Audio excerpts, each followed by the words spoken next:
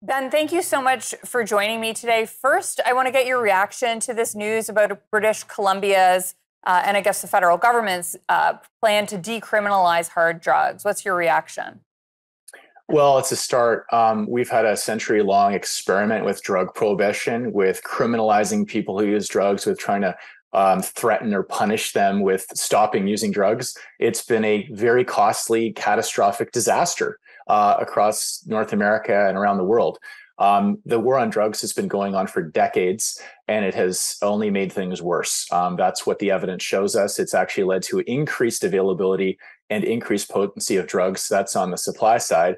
And on the demand side, we know that incarcerating people who have substance use disorders uh, directly contributes to their death. Uh, research shows that you're 50 times more likely when you're forced to go through a detox in prison, essentially, because this is a medical condition. It's a chronic relapsing condition. And so uh, I don't believe prison should be a death sentence for someone who has a substance use disorder.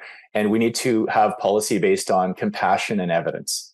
So there's been some criticism of this move on, on multiple, multiple fronts. First, let's address the criticism that the 2.5 gram threshold is still too low uh, that, that this will continue to result in criminalization of many people who are addicted to drugs and often carry amounts of drugs greater than that quantity. Right. So we really do need to listen to uh, people who are using substances, and they uh, there's a drug policy coalition that made a recommendation for a certain threshold that was higher than that. The BC government uh, uh, uh, lowered that asked for that and then the federal government approved something even lower. So what we have is a threshold that that we're being told by people who use drugs is too low. Uh, they're using for their personal use. Now the risk is this thing could backfire big time if you set it too low. What happened when uh, the global war on drugs got really good at seizing hundreds of tons of heroin as organized crime doesn't just pack up their bag and go home they created fentanyl and carfentanil which are synthetic drugs which are 50 to 100 times more powerful than heroin, naturally occurring heroin. And so the problem is if you say you can only have this quantity of drugs, that increases the incentive for even more potent drugs. So if you could have that much, you know, fentanyl, well, uh, now I can't have that much fentanyl. I can only have half that quantity. So then we'll mix some carfentanil in, which people see in Jurassic World, that's what they use to sedate a T Rex in that movie. And in real life, it's used to sedate uh, elephants and rhinoceroses.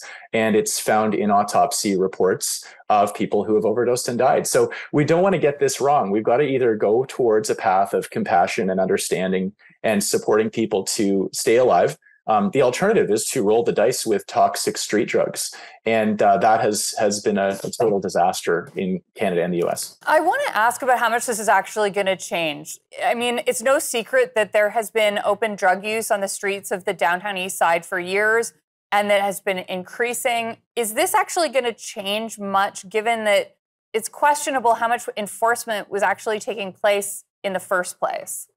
Yeah. So what the police were doing is even if they were not charging, and there will start, were still charges that are happening or is threatened, is they would seize drugs, drugs and crush them under their feet. There's also ongoing harassment of people who have uh, who are on the street. We had a case this week in BC Supreme Court. A judge threw out a case because the police said search someone unconstitutionally. They they said the reason was the person looked scruffy and gaunt basically they looked like a drug user and that was the grounds to do a strip search on them. So this is the kind of enforcement that we've seen. Um, what the research shows is criminalization contributes to a couple things. So even just the fact that it is still illegal um, means that people are more likely to use their drugs alone because they don't want others around who could you know report on them perhaps or um, be in breach of conditions like they not use drugs if they're on release. And it encourages them to use faster. So just because the vpd has, a, has had a policy of not actively prosecuting small amounts for simple possession, um, people would still actively use those outside of you know police vision and sight and things like that. It also has implications for criminal records, employment. There's there's a whole cascading uh, set right. of factors.